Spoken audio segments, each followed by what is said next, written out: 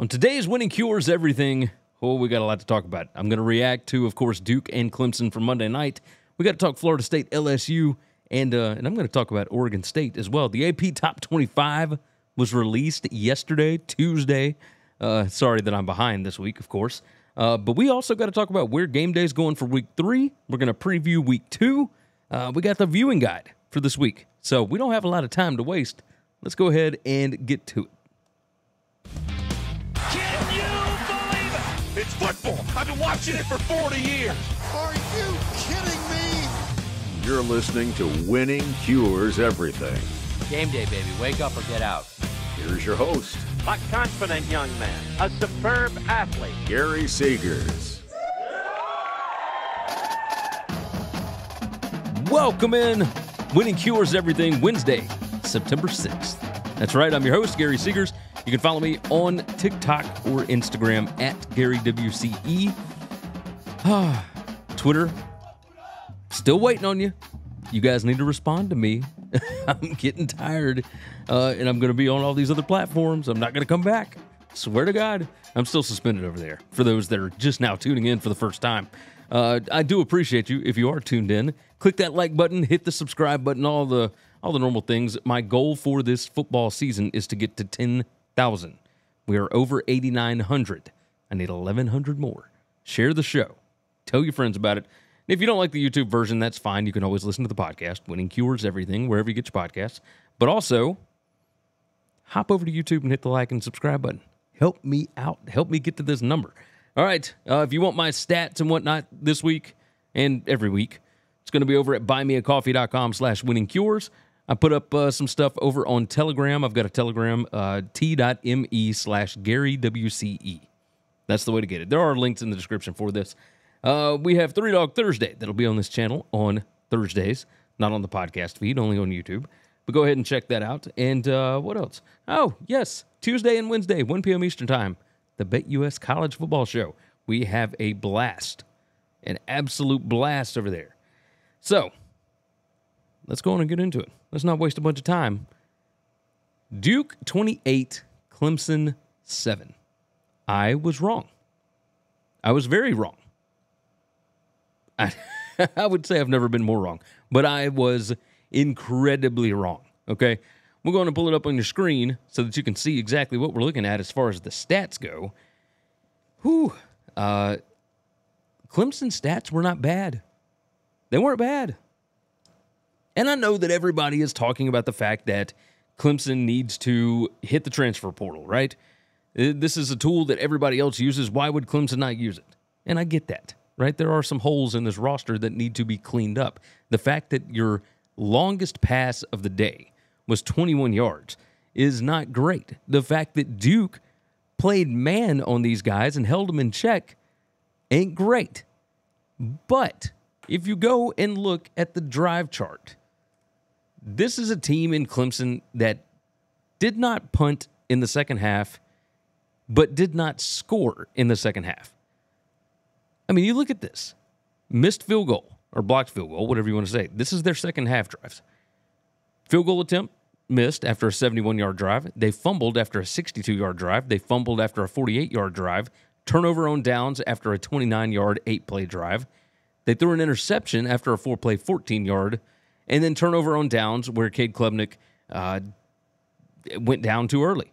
Which, why on earth? I mean, that he he ran the ball at one point and ducked his head down and went and tried to get the first down. And then and it, none of it none of it makes sense. None of it makes sense. You look at the numbers in this game and more than likely Clemson should have won the game, but I don't know what to tell you. Uh, looking over at the advanced box score over at uh, college football data, and I mean, we've got a spot here where, you know, Duke, it says Duke was a 63% win expectancy. Eh, I don't know that I necessarily agree. Uh, but I guess I guess I could see where they're coming from as far as the stats go because Duke had good numbers too, right? 374 yards. They had 175 passing, 199 rushing. Uh, Duke had seven penalties for 45 yards. Clemson only had one penalty. Clemson had 12 more first downs. Clemson had a better third down rate. Uh, they did not have a good fourth down rate, obviously. Clemson ran 19 more plays, but uh, the average yards per completion 7.7 to Duke's 10.3. Duke has an NFL quarterback over there. They are Duke is good. I mean, Duke is really good. Uh, you go over to game on paper. I mean, you see when that thing flipped. Play number 137. Then you go up to play number 138, and it's just a complete debacle. I mean, I just, uh, it's very irritating because I, I backed Clemson minus 13 on the BetUS show, and I felt good about it. But man, you look at that EPA per play, Clemson had a better success rate. Like, it's just insane. It's absolutely insane. Uh, this was interesting. And this is one of those spots where this is two times now. Cade Klubnik has been the starting quarterback for two games. And in those two games, they have had way better numbers than they have had points. They scored, what, 13 against Tennessee and seven against Duke? Not going to get it done. Not going to get it done. You got to be better than that. All right. We'll hop off that one. We, we got plenty to hit on. We do not need to waste time. Florida State 45, LSU 24. And again, just unbelievable what we saw in that spot. I I was I was shocked. I was shooketh, as the kids would say. Uh, I don't know if the kids actually say that, but regardless, regardless, um, I here let's fit that thing back in the screen here. I'm having to I'm having to do all kind of stuff. Uh, Florida State 494 to 460 total yards, uh, 359 to 347 passing yards, 135 to 113 rushing. When you look at the sheet, it doesn't look like they dominated the game that much, but it was the important plays where they were able to get it done right? We're going to pull up the whole thing on here so everybody can see. Uh, you look at third downs. LSU, three out of 10. Florida State was nine of 14. On fourth down, LSU 0 for 3. Florida State 1 for 1. I mean, these two teams ran basically the same number of plays. They had the, almost the same average yards per play. And I, I don't even know what to tell you same yards per completion, almost same yards per rush, almost the same sack adjusted yards. Like, but then you look at red zone, and Florida State's four out of four, and uh, LSU is three out of five. It was explosive plays. This is what I said from the get go. Explosive plays are going to be the, the name of the game here. It's the truth. Jayden Daniels is not that great at creating explosive plays. Jordan Travis is. And that LSU defense was not great at stopping them because that secondary is not great. They could not match up with guys like Keon Coleman and Johnny Wilson. They just couldn't. Uh, this I don't think this was as dominant a victory as a lot of people would think. I mean, this was a, a 45 to 17 game at one point, but LSU had almost 300 yards in the first half. They were rolling, like absolutely rolling, and I I just I look at it and I can't quite figure out. Here we go. First half, LSU 293 to 213. LSU was up 17 to 14. But Florida State hit another gear in that second half. Outscored them 31 to 7. Uh, outgained them by over 100 yards in that second half. Uh, they ran the ball 23 times to only 8. They were 10 of 11 passing in the second half to 11 of 15. Uh, it was it was a debacle. Absolute debacle. So is LSU as bad as people are making them out to be? No. No, no, no, no, no. When Maason Smith comes back, I think they're going to be better. Um, I do wonder if things do not go well for them, which it's going to be a little bit, uh, and I don't have the schedule pulled up in front of me, but it's going to be a little bit before they really get tested like this again, especially in the passing game. Uh, do they end up swapping over to Garrett Nussmeier? I mean, it, it really leads you to a lot of questions. And this is something that's been going on with Brian Kelly for a while, right? His quarterbacks do not seem to develop. We'll see about this offense coordinator. Everybody kind of questioned, you know, Denbrock, eh, is he, is he going to be okay? I mean, they won the West last year. They could potentially do it again this year, but you want to compete for championships? I don't know that Jayden Daniels is going to be your guy. I don't know that he's going to be your guy. All right. Moving along. Got to hit real quick on Oregon State 42, San Jose State 17. And this one was this one was interesting, right? Let's look at this. Total yards. Outgained them almost 200 yards. This is the same San Jose State team that played USC last week and put up a bunch of points and looked good in the process, right? I mean, that's what this was. Chevan Cordeiro, 18 out of 32, 143 yards, no TDs, no picks. They brought in Butterfield, the backup, 7 out of 9 passing, 80 yards, one touchdown. That was against backups. DJU, DJ Uiagalelei, everybody said it was him. It wasn't the Clemson offense, it was him. He's 20 out of 25, 239 with three touchdowns. I mean, the running game. Martinez, I mean, he's he's all Pac 12. He'll be all whatever league they end up in. Uh, but 18 rushes, 145 yards. Like San Jose State, I know that they lost a lot of dudes on defense, but like Brent Brennan and that defensive coaching staff, they understand how to stop the run. But, I mean, you look at sack adjusted rushing yards, 204. Like they, this, this Oregon State team is awesome. They are going to be really, really good, and they are, they are a force to be reckoned with.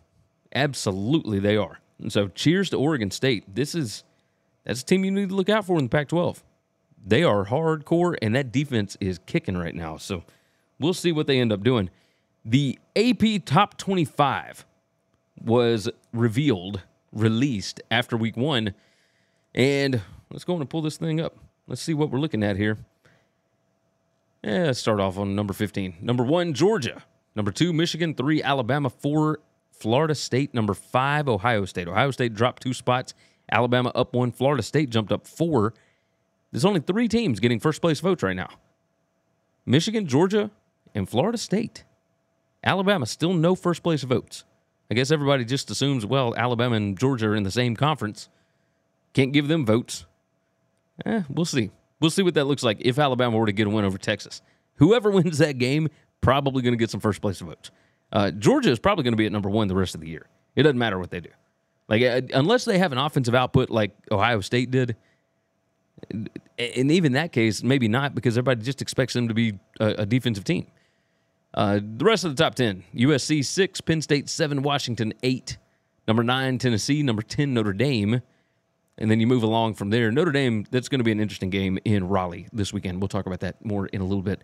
Number 11, Texas. 12, Utah. 13, Oregon. 14, LSU. They dropped nine spots. Uh, Oregon, I think, a little bit underrated here. Uh, going to be interesting to see what they do in Lubbock this weekend. 15, Kansas State. They uh, they beat up on a, a pretty decent FCS school, I would say. A pretty decent. And then let's see, Oklahoma number 18. Oh, excuse me. Oregon State 16, North Carolina 17, Oklahoma 18, Wisconsin 19. And we scroll on.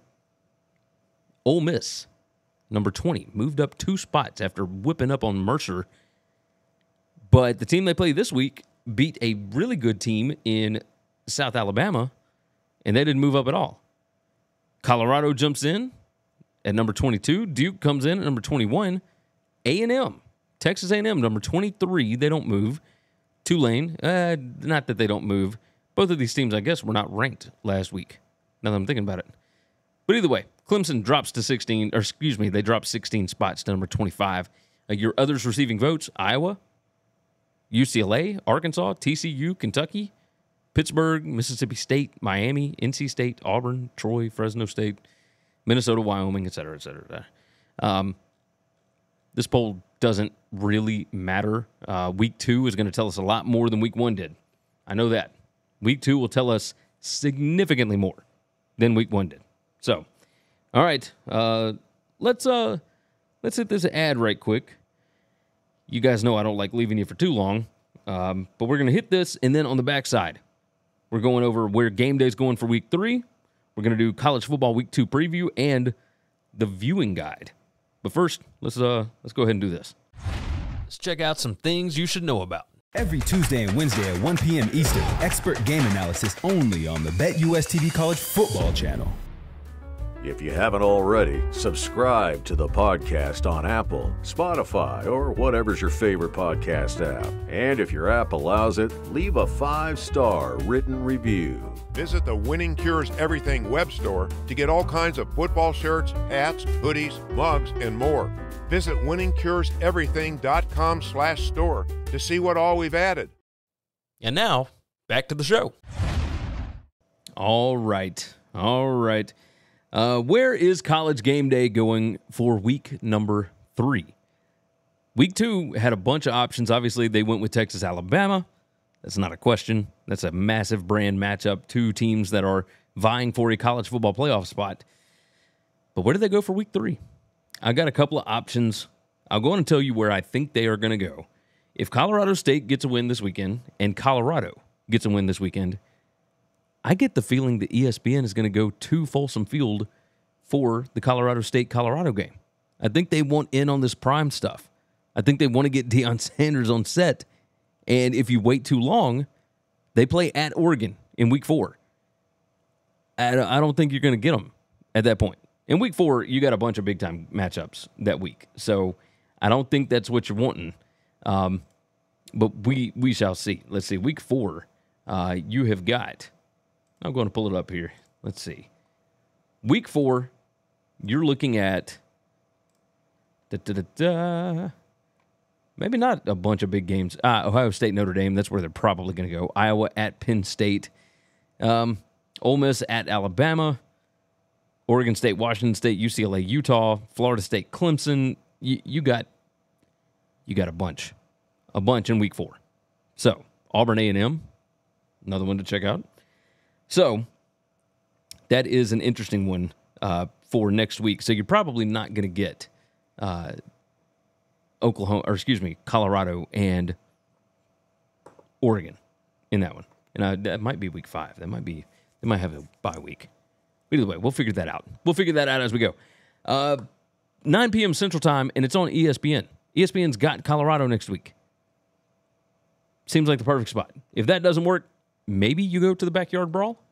If West Virginia looks uh, somewhat comparable, or uh, if they look competitive at all this week, then maybe you can get the backyard brawl. If you get Pitt to beat Cincinnati, maybe you get that one. Uh, the other one, maybe Kansas State at Missouri. Um, but next week, I mean, there's just not a lot going on on the schedule. So I'm curious. I'm curious about it. So week three, uh, that's going to be that's going to be a tough one. Maybe you go to Mississippi State and LSU. Maybe you go to Penn State, Illinois. I mean, it, there's there's just nothing on the schedule. Minnesota at uh, North Carolina next week. oh, what a putrid schedule. Uh, Washington at Michigan State, I would say, yeah, except that the game's on Peacock. So, whatever, I guess. Uh, but yeah, my guess is going to be. my guess will be Colorado State and Colorado is where game day will be in week three. You want to jump in on the hype? Uh, it makes all the sense in the world. All the sense in the world. All right, let's do the preview. Our preview for week number two starts off with, oh goodness, the biggest brand games. And basically, we're going to try and guess who will get the highest ratings this week. And my guess is Nebraska and Colorado will get the highest ratings. It's the Fox Big Noon Kick.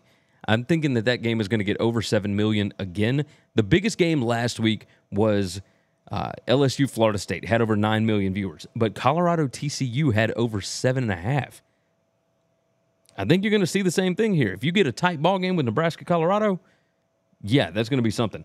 Texas Alabama, I think will do a comparable number. I think it's going to do well over 7 million on ESPN. But again, that's cable. You've lost Spectrum. You've lost a bunch of a bunch of subscribers. That's 15 million people that if Spectrum and Disney don't get their deal worked out, they're not going to be able to get ESPN unless they swap over, right? So we'll see. I think I think we'll still get over 7 million. That game got over 10 last year on Fox. Texas A&M at Miami. That's an ABC game at the uh, 3:30 p.m. Eastern Time spot. I think it'll do over 4 million. I think that game's going to be pretty tight. Notre Dame at NC State. I expect that to do over 3 million. Notre Dame against an actual opponent. That's going to do well, I would imagine. And it's on ABC instead of NBC. It's a spot where everybody knows where it is. And that's, that's an early game.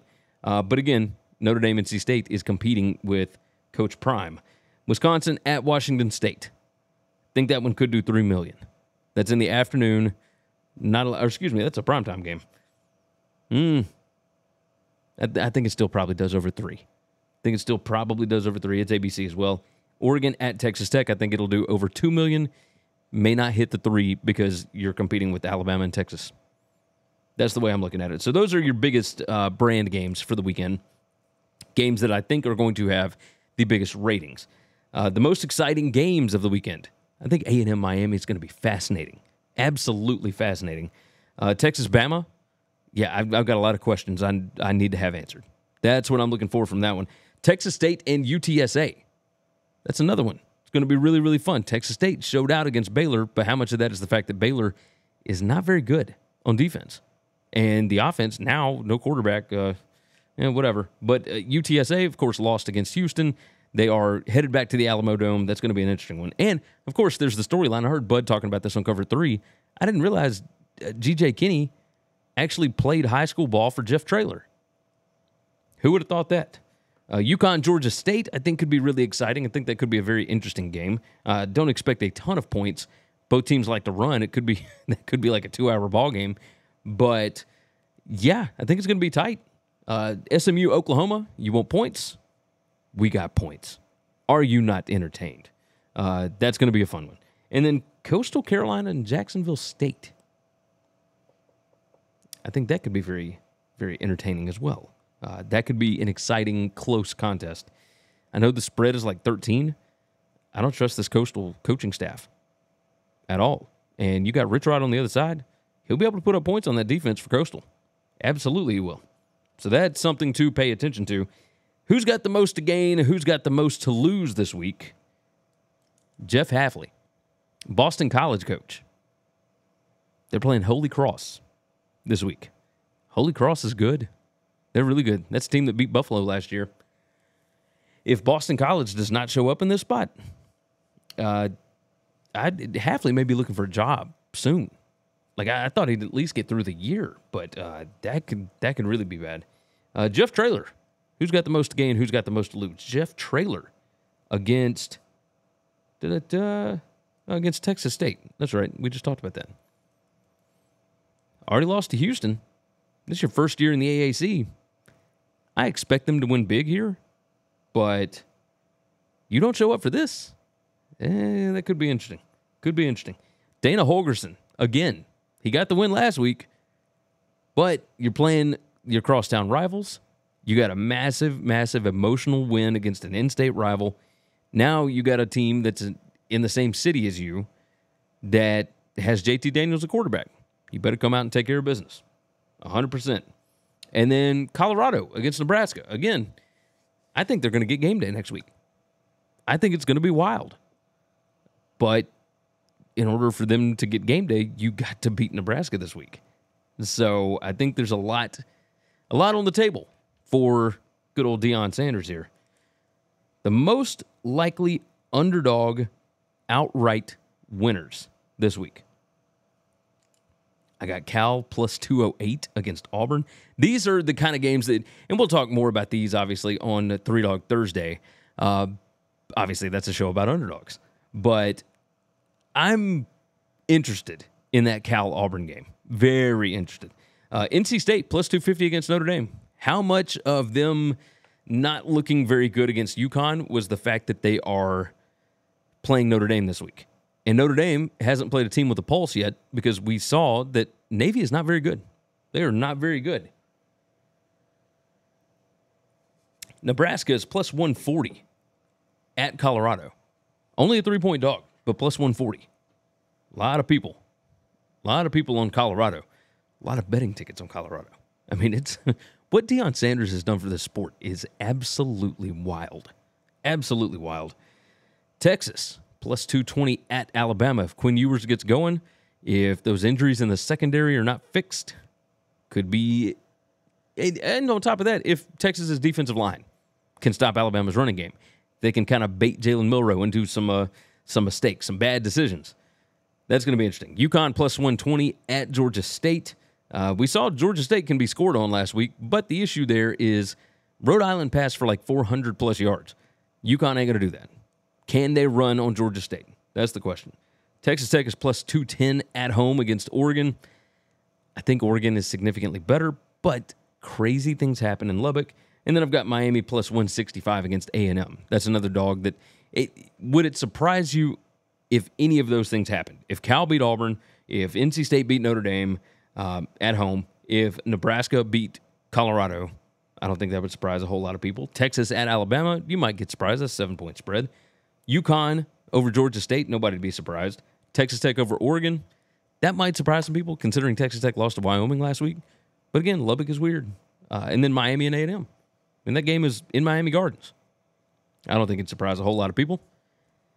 The G5 game of the week this week Texas State and UTSA. I think that's the G5 game of the week.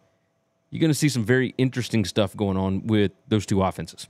And Frank Harris needs to get right. He's had two bad games in a row if you count the bowl game. Uh, Marshall and ECU, I think, could be very interesting.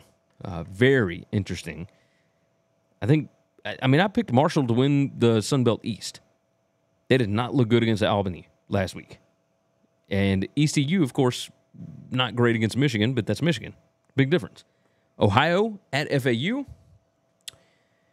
So Kurtis Rourke is going to play. They they say he's cleared. He's ready to go.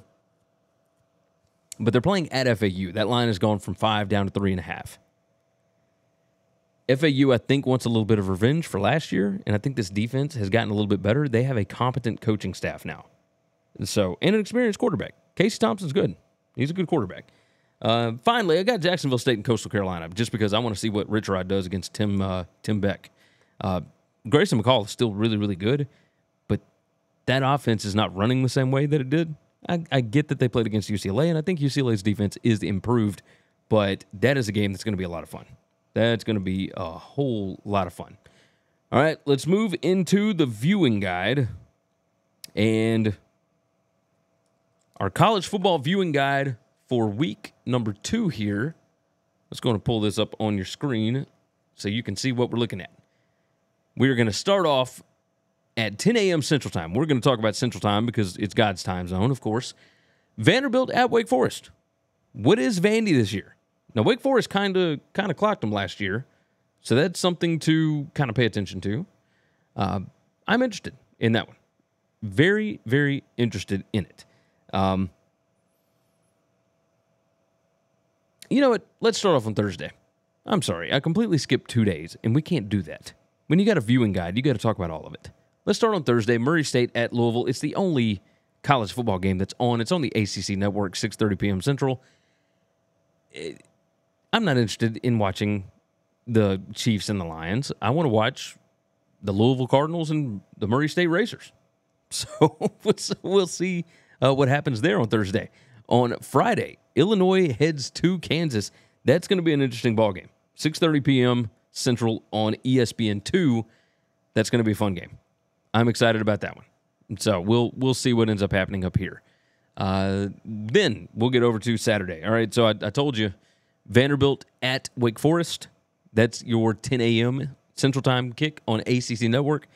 Um, is Wake Forest still as good? It, does that offense move as well? They they looked pretty good against Elon last week. Uh, Vandy got a win over Hawaii in week zero.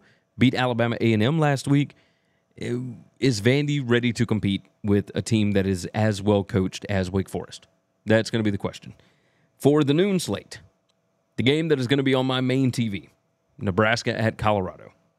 Have to be 11 a.m. Central Time on Fox. It's big noon kick.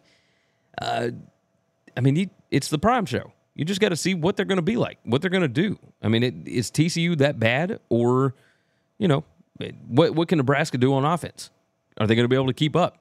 Is is Colorado going to make those absolutely ridiculous skill position plays every single week? We'll see. Uh, at the same time, on my other TV, I'm going to have Notre Dame at NC State. Definitely, definitely got to watch that one. Got to see what Notre Dame looks like against a real team. Uh, moving along, headed to the 3:30 slot, 3:30 Eastern, 2:30 Central. Again, God's time zone. My main TV is going to have Texas A&M and Miami on it. 2:30 p.m. Central on ABC. I want to see what's going on there. Now, on my other TVs, I'm going to have one screen that's got ESPN Plus on, Texas State at UTSA. ESPN two has got Ole Miss at Tulane. That's going to have. Uh, I'm going to have that on one of the TVs. I'll probably have Texas State, uh, UTSA on the iPad, uh, but Ole Miss, Tulane on one of the smaller TVs, and Iowa, Iowa State on Fox on one of the smaller TVs. Uh, those two games I think could be very, very interesting. We'll move into the primetime spot Saturday, 7 p.m. Texas at Alabama, 6 p.m. Central Time on ESPN. That one's going to be fun. Texas, Alabama. We talked about that one just a little bit. Um, on my other TVs, I've not decided which way I'm going to go here. I know one of them's going to have Oregon, Texas Tech, but I think that one could get it could get crazy. So I, I think Oregon could win that one by multiple scores. So we'll we'll see what happens. I did not like what I saw out of Texas Tech, uh, and you guys tell me in the comments like what what do you think going on here? Like what this Texas Tech roster I didn't think was that bad, but who that defense did not look good, and the offense could not get a push. It, it was it was crazy. I don't think Wyoming is that good, uh, but maybe maybe I'm wrong. Who knows? On ABC, you got Wisconsin and Washington State. I think that's going to be on one of my other ones, and then I think that Arizona and Mississippi State is going to be on my iPad. Uh, I might have SMU Oklahoma on ESPN Plus on uh, on my computer. you, that's the thing about college football Saturday. You got to have multiple screens. You got to be able to do it so you can kind of keep up with what's going on with everything. Uh, but uh, my main one uh, is going to be obviously Texas at Alabama. That is, of course, if uh, if we don't have this baby this weekend. So I'm planning all this stuff out, all the stuff I'm going to do, and and my wife, our due date is on Saturday. So we'll see, we'll see what happens there. She ain't here yet though. It's only Wednesday though. Uh, moving on to the night slate, 9:30 p.m. Central Time. I'm going to be watching Auburn at Cal on ESPN. I think that game is going to be fascinating. This Jake Spavital offense that Cal is running right now with Ott at, at running back, they are so good. And if Sam Jackson's healthy, whoo, be ready for some points. Hugh Freeze going on the road for the first time. I mean, that, that's going to be fun for Auburn, right? Get you a burner. Let's go. Uh, Stanford at USC is going to be on my other screen because that kid Ashton Daniels, for them, that quarterback running that Troy Taylor offense, they were good against Hawaii. They were really good against Hawaii. Uh, does that mean you're going to be able to put up points on USC? Does it mean you're going to be able to stop USC? Probably not. I mean, it's a 30 point spread for a reason. It's been bet down to 29. I think Stanford could find a way to put up some points here. And so, and I've got SMU, Oklahoma down here. It's a 5 p.m. Central Time kick. Uh, if that one gets weird, obviously I'm going to be pulling that one up. I might have that one on the phone. We'll we'll see what that looks like. But yeah, that's going to be crazy. Absolutely crazy. All right, let's move off of that. And I got one more thing that I want to talk to you about. I didn't do a Monday show this week. Obviously, it was Labor Day. I was hanging out with some Ole Miss guys, having a good time, having a good time. And I got to tell you, the unlikely wins from week one were fascinating. Absolutely fascinating. Now, I'm not going to put these on the screen or anything, so you're going to have to listen to me. Uh, so, for those on the podcast, you're used to it, but on YouTube, you're used to kind of seeing what I'm talking about. Um, the unlikely wins in week one. The most unlikely win was Louisiana Monroe getting a 17 to 13 win over Army. They had a 0.006% chance to win that game based on the statistics of the game. I mean, that's that's got to break your heart if you're Army. Now, service academies typically these things skew their direction, but this one was wild, absolutely crazy. Uh, after that, you had Minnesota with their 13 to 10 win over Nebraska last Thursday. 4.71% chance to win that game based on the stats. Now, the stats obviously take out turnovers and whatever else. It's just what did you do? Who dominated? And Nebraska dominated that game, but they turned the ball over too many times. Two goal to go situations, you only get three points out of it? Ridiculous. Ridiculous. Uh, but Clemson, of course, one upped them on Monday night. Just, just absurd. Um, after that, Oklahoma State, 27 to 13 over Central Arkansas. They only had a 19.6% post game win expectancy. Uh, that does not make me feel good about them going to Arizona State. And Arizona State isn't that good. So, uh, Houston, 17 to 14 over UTSA. They had a 22% post game win expectancy. Uh, Wyoming, their 35 to 33 win over Texas Tech, only a 42.4% win expectancy. And then Western Kentucky, their win over South Florida, that's a game that I gave out the underdog on. I gave out South Florida plus 12 and a half. Should have covered. Should have covered. They won by 17. Their post game win expectancy was 43.4%. We, we got to keep an eye on Western Kentucky. We got to keep an eye on that. So, all right. It's been over 30 minutes. I didn't I didn't fit all of it in under 30. It's a shame. But either way, I do appreciate you for being here. Like the video, subscribe to the channel. Of course, again, we're racing to 10,000. There's all these other ones. Josh and, and those guys over they hit over 200,000. Bud and that bunch they've hit, you know, 30,000. I'm just trying to get 10. The BetUS show that I do. We're over 14,000 over there. Why is my solo show only at 8.9? Help me out. Let's get to 10K. Let's get to 10K. Share it out. Tell your friends about it. All that good stuff. Uh, don't forget, buymeacoffee.com slash winning cures. Of course, you want to check out my Telegram. Uh, I will send out all of my picks on that during the week so you can know exactly what I'm doing. Um, not only the ones on BetUS, but the other ones that I make throughout the week. That's Telegram. You look up Gary WCE there, uh, but it's t.me slash Gary WCE in your browser. Uh, along with that, BetUS College Football Show. Subscribe and watch over there. We went over 16 games this week, so we've had a lot of fun on that one. Uh, and then, of course, Three Dog Thursday will be out on Thursday. It's going to be a good time. Going to be a good time. I can't wait. All right, let's leave. Let's go. Again, like the video, tell your friends, jump in the comments. I want to know what you think about the show. Uh, but with that said, it's time for you to uh, get out of here. Take care of yourself. Take care of each other. Uh, God bless college football, and hopefully all of your tickets cash this week. Thanks for listening to Winning Cures Everything. Make sure and follow me on Twitter at GaryWCE. If you want to toss in a question, you can email me Gary at winningcureseverything.com. Make sure and hit that subscribe button, and we'll see you next time.